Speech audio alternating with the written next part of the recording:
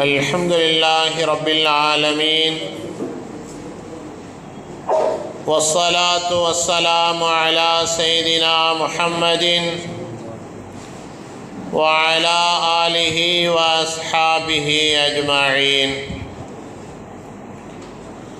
قال الله تبارك وتعالى في القرآن العظيم والفرقان الحميد أعوذ بالله من الشيطان الرجيم بسم الله الرحمن الرحيم قد أفلح المؤمنون الذين هم في صلاتهم خاشعون صدق الله العلي العظيم அன்பார்ந்த அல்லாஹின் நல்லடியார்களே இன்றைய தினம் பதினான்காம் நாளுடைய தராவீகை நிறைவு செய்துவிட்டு பதினேழரை ஜுசுக்கள் அல்லாஹுடைய அருளின் காரணமாக ஓதி முடிக்கப்பட்டது. இன்றைய தினம் ஓதப்பட்ட வசனங்களிலே ரப்புல் ஆலமீன் அழகான மூமின்களின் சில பண்புகளை பட்டியலிட்டு பேசுகிறார். சூரத்துல் மூமினோன் என்று பதினெட்டாவது ஜுசுடைய ஆரம்பத்தில் வருது. கத் அஃப்லஹ அப்படின்னு சொல்கிறோம் அந்த ஜுசுவுக்கு பேர். சூரத்துல் மோமினூன் அந்த சூறாவுக்கு பேர். அதில் அல்லாஹு தாலா வெற்றி பெற்ற முஸ்லீம்கள் யார் மோமின்கள் யார் என்று அல்லாஹ் பட்டியல் சொல்கிறார் கத் அஃப்லஹல் மோமினூன். நிச்சயமாக மோமீன்களுக்கு வெற்றி கிடைத்து விட்டது. ஆனால் அந்த மோமீன்கள்னால் எப்படி இருக்கணும்? அல்லதீன ஹும் ஃபி சலாத்திஹிம் ஹாஷிஹூன் அவர்கள் தொழுகையிலே பயபக்தி உள்ளவர்களாக ஹுஷூ ஹுது என்று சொல்லப்படக்கூடிய மிகவும் பேணுதல் மிக்கவர்களாக இருப்பார்கள் என்று அல்லாஹ் கூறுகிறார் பொதுவாகவே நம்ம எல்லாத்துக்கும் தெரிஞ்ச விஷயந்தான் இஸ்லாமிய கடமைகள்லேயே பிரதான கடமை தொழுகை தான் அந்த தொழுகைங்கிறது எல்லாத்துட்டையும் இருக்கணும். அப்படி இருந்தால் தான் அவருக்கு வெற்றி கிடைக்கும். அதுவும் அந்த தொழுகையில் உள்ளச்சத்தோடு தொழணும். தொழுகையினுடைய இனிமையை உணர்ந்தவர்களாக நம்ம தொழணும். எத்தனையோ இபாதத்துகள் இருக்குது அந்த எல்லா இபாதத்தையும் விட தொழுகையை பிரதானமானது உயர்வானது அப்படின்னு சொல்கிறதுக்கு என்ன காரணம் அப்படின்னு கேட்டால் தப்சீர்களில் திருமறையினுடைய தெளிவுரைகளில் சில குறிப்புகள் எழுதப்பட்டிருக்கு. தொழுகைங்கிறது எல்லா நேரங்களிலும் ரப்புல் ஆலமீன் செய்ய வேண்டும் என்று பணித்திருக்கிறார். எல்லா நேரங்கள்னால் எப்படி? பகல்லையும் தொழணும் இரவுலையும் தொழணும். தொழுகையினுடைய அமைப்பு அப்படித்தான் இருக்குது இப்போ லொஹரு அசரு இதெல்லாம் பகல் நேரத்தினுடைய வணக்கங்கள். மகரீப் இஷாங்கிறது இரவு நேரத்தினுடைய வணக்கம். ஃபஜ்ருங்கிறது அதிகாலையில் உள்ளது. அப்போ இரவுலையும் பகல்லையும் நம்ம அல்லாஹுவை வணங்குவதற்கென்று அல்லாஹ் நிர்ணயித்திருக்கிறார் ஆனால் நோன்பு இருக்குது பார்த்திங்களா நோன்பு அப்படி கிடையாது. நோன்பு பகலில் மட்டும்தான். இரவில் நோன்பு கிடையாது. அப்போ நோன்பை விட தொழுகை ஒரு வகையிலே உயர்ந்து நிற்கிறது. அதே மாதிரி பாருங்கள் ரமதானுடைய காலம்தான். நம்ம நோன்பு வச்சுருக்குறோம். ஆனால் இந்த நோன்பை விட்டு விட்டு வேறொரு நாட்களிலே வைப்பதற்கு கூட வாய்ப்பு இருக்கிறது. நீண்ட தூரம் நம்ம சஃபரில் போகிறோம் பயணத்தில் போகிறோம் அல்லது நமக்கு நோய் ஏற்பட்டுருச்சு. அப்படின்னா ரமதானில் நோன்பு வைக்காமல் வேறு நாட்களில் வச்சுக்கலாம். குரானில் வருகிறது அல்லாஹ் சொல்கிறான். நோய் உங்களுக்கு ஏற்பட்டாலோ அல்லது நீங்கள் சஃபரில் இருந்தாலோ வேறொரு நாட்களிலே அந்த நோன்பை வைத்துக் கொள்ளுங்கள் என்று அல்லாஹ் சொல்கிறான். ஆனால் தொழுகையை பொறுத்தளவுக்கு அப்படி இல்லை. எல்லா நிலையிலும் நாம் தொழுதாக வேண்டும். பயணத்தில் இருந்தாலும் தொழுதாகணும் ஊரில் இருந்தாலும் தொழுதாகணும். அதே மாதிரி எல்லோரின் மீதும் தொழுகை கடமையாக இருக்கிறது. ஆரோக்கியமாக இருக்கிறவங்களும் தொழணும் முடியாமல் படுத்திருக்கிறவங்களும் தொழணும். நோய்வாய்ப்பட்டிருக்கவங்களும் தொழணும். அப்போ தொழுகை என்பது மற்ற இபாதத்துக்களை விட ஒரு வகையிலே உயர்ந்து நிற்கிறது. எல்லா நேரத்திலும் தொழ வேண்டும் பகலிலும் இரவிலும் தொழ வேண்டும் எல்லா நிலையிலும் தொழ வேண்டும். ஊரில் இருந்தாலும் தொழணும் பயணத்தில் இருந்தாலும் தொழணும். எல்லோரின் மீதும் அது கடமை. ஆரோக்கியமாக இருக்கிறவன் மீதும் தொழணும் நோயாக இருந்தாலும் தொழுதாகும். ஆனால் மற்ற இபாதத்துக்கெல்லாம் அப்படி இல்லை.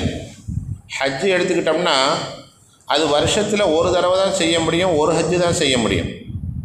துல்ஹஜ் மாதத்தினுடைய பிற எட்டுலேருந்து ஒரு பன்னெண்டு பதிமூணு வரைக்கும் தான் அதனுடைய அமல்கள் இருக்கும்.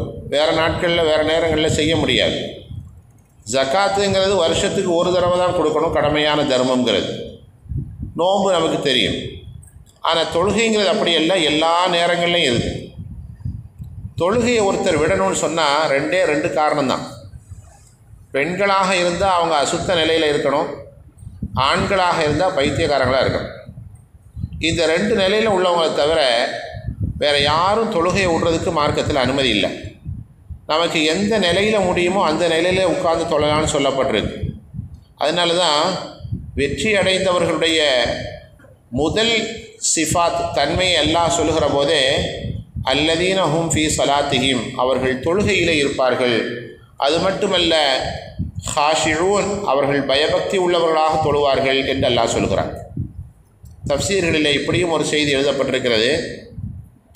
தொழுகைங்கிறத மனித சமுதாயத்திற்கு அல்லாஹ் ஏன் கொடுத்துருக்குறான் அப்படின்னா அல்லாஹுவால் படைக்கப்பட்ட எல்லா உயிரினங்களையும் விட மனிதன் உயர்ந்தவன் மனிதன் சிறந்தவன் நமக்கு தெரியும்.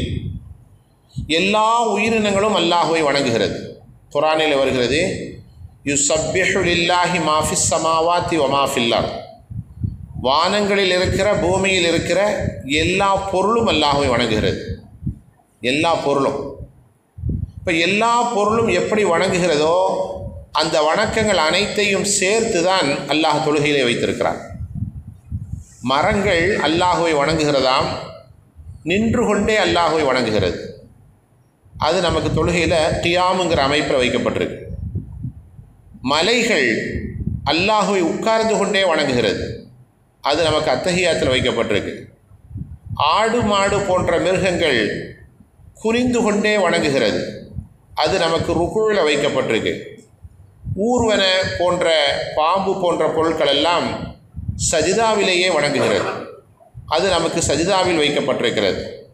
தொழுகை என்பது மரங்களின் வணக்கம் மலைகளின் வணக்கம் மிருகங்களின் வணக்கம் ஊர்வன போன்ற உயிரினங்களின் வணக்கம் எல்லாமுமாக சேர்ந்து மனிதனுக்கு அல்லாஹ் தொழுகையை ஏற்படுத்தி கொடுத்து அத்தனை உயிரினங்களும் வணங்கக்கூடிய வணக்கத்தை சேர்த்து நீ தொழுகை தொழுதுவிட்டால் நீ சிறந்த மனிதனாக ஆகிவிடுவாய். எல்லா உயிரினங்களை விட சிறப்பு பெற்ற மனிதனாக ஆகிவிடுவாய் என்பதை ரப்புல் ஆலமீன் பறைசாற்றி கொண்டிருக்கிறான் அதனால தான் நபி அவங்க சொன்னாங்க அஸ்ஸலாத்து இமாதுத்தீன். தொழுகை என்பது மார்க்கத்தில் ஒரு தூணை போன்று ஃபமன் அகாமஹா அகாமத்தீன் வமன் ஹதமஹா ஹதமத்தீன். அந்த தொழுகையை யார் சரியாக தொழுதாரோ அவர் எல்லாவற்றையும் சரியாக செய்துவிட்டார். தொழுகையில் குறைவு இருக்குமானால் அவர் மார்க்கத்தையே இடித்து தகர்த்து விட்டார் என்று அல்லாஹுடைய தூதர் சல்லாஹ் அலிஸ்லம் சொன்னார்கள். கபூரில் கொண்டு போய் மையத்தை வச்ச உடனே முதல்ல கேட்கப்படுகிற கேள்வி தொழுகையை பற்றி தான் அது சரியாக இருந்துச்சுன்னா மற்ற அமல்களில் ஏதேனும் கொஞ்சம் குறைகள் கூடுதல்கள் இருந்தால் கூட ரப்புல் ஆலமீன் அதை கண்டுகொள்ளாமல் விட்டு விடுகிறான் என்று அல்லாஹுடைய தூதர் சல்லாஹ் அலிஸ்லம் சொன்னார். அப்படியானால் மனிதனாக முஸ்லீம்களாக இருக்கக்கூடிய நாம் எல்லோருமே ஒரு பருவத்தை அடைந்ததற்கு பிறகு சின்ன குழந்தையாக இருக்கிறப்போ கடமை இல்லை. ஒரு பருவத்தை அடைந்ததற்கு பிறகு அந்த தொழுகையை நாம் விடுவதற்கான எந்த முகாந்திரமும் நமக்கு இல்லை. அதனால்தான் அல்லாஹ் கூறுகிறான் வெற்றி பெற வேண்டும் என்று சொன்னால் உலக வாழ்க்கையாக இருந்தாலும் சரி மறுமை என்ற வாழ்க்கையாக இருந்தாலும் சரி எந்த ஒரு சூழலாக இருந்தாலும் சரி வெற்றி கிடைக்க வேண்டும் என்று சொன்னால் முதலிலே நாம் தொழ வேண்டும். அந்த தொழுகை உள்ளச்சம் உள்ளதாக இருக்க வேண்டும் என்பதைத்தான் இப்போது ஓதி காட்டப்பட்ட வசனம் நமக்கு முத்தாய்ப்பான படிப்பினையாக தந்து கொண்டிருக்கிறது. அல்லாஹும் அல்லாஹுடைய தூதர் சல்லாஹுலே செல்லம் அவர்களும் எதையெல்லாம் நமக்கு போதித்திருக்கிறார்களோ அந்த செய்திகள் அனைத்தையும் முழுமையாக புரிந்து அமல் செய்யக்கூடிய பாக்கியத்தை நமக்கும் உலக முஸ்லீம்களுக்கும் ரப்புல் ஆலமீன் தந்தருள்வானாக சுபஹான் அல்லாஹி வபிஹம்திஹி عدد خلقه ورضا نفسه وزنة عرشه